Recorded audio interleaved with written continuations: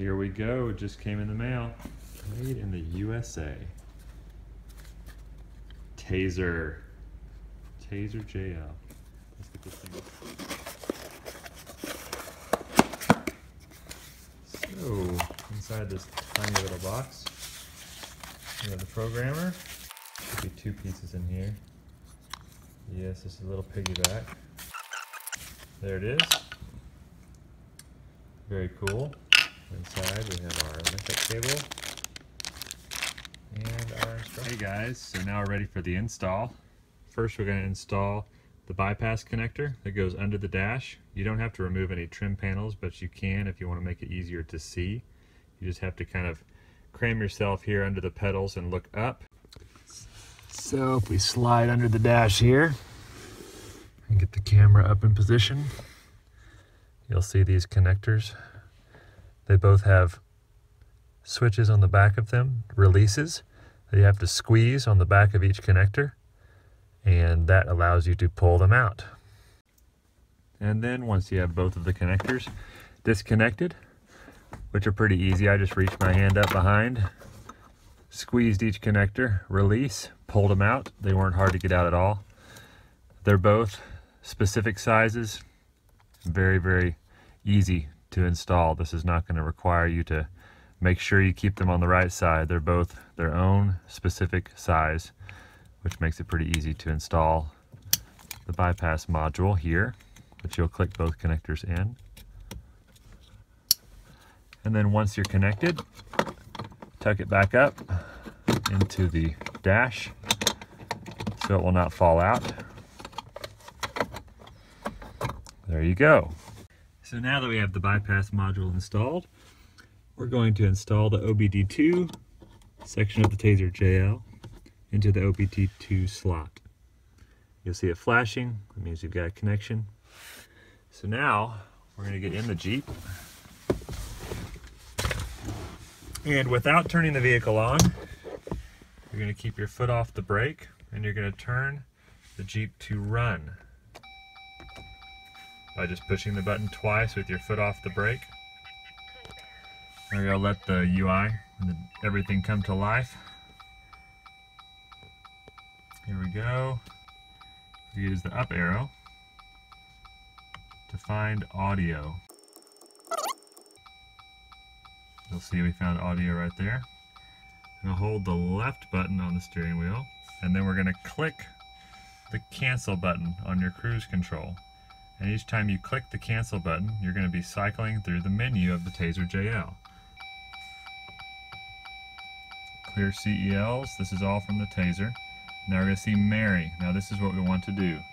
When we find Mary, so in order to marry the Tazer JL to your Jeep, you're going to hold again, hold the left button on your menu selector, and you're going to click the cruise control button in the center here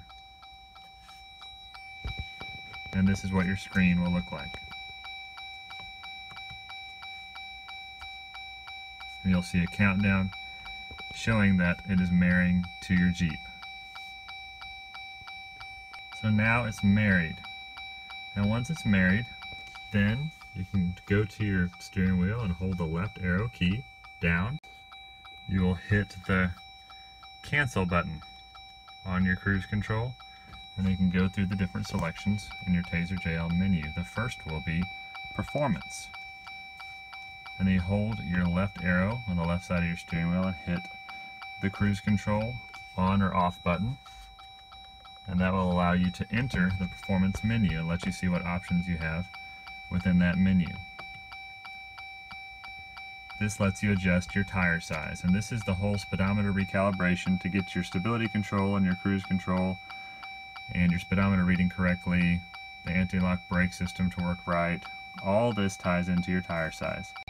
In order to adjust your tire size, you'll again hold the left arrow on your steering wheel, and then you'll go up and down, plus and minus, with your cruise control adjustment keys.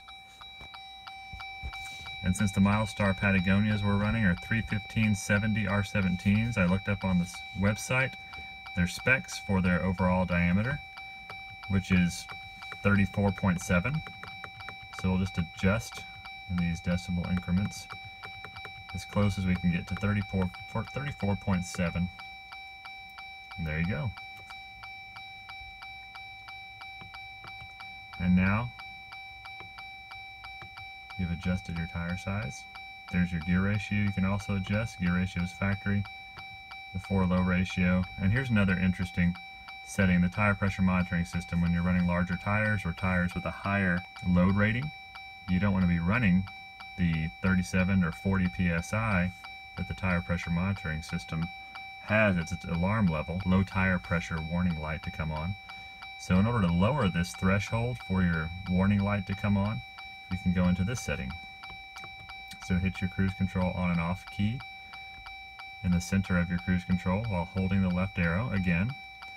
And then while holding the left arrow, hit the cancel button and that will tell you what your PSI threshold is for the front.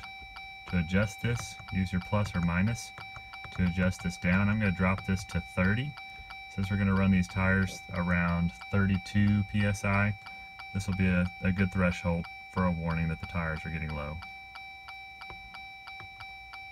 Now I'll push the left arrow and the cancel key again, and this will give you the threshold for the rear. We're going to hold the left arrow and then push the minus set key down to 30 in the rear. And now we're done. How to exit the JL, simply hit the up arrow and switch back to your normal menus. Now in order to access all the menu functions on the, on the fly, you have to leave the OBD2 module connected. If you are ready to remove the Tazer from the Jeep, just pull the OBD2 sensor out of the Jeep and restart your vehicle and you are ready to go. Enjoy. Hope you have a great day. Take care.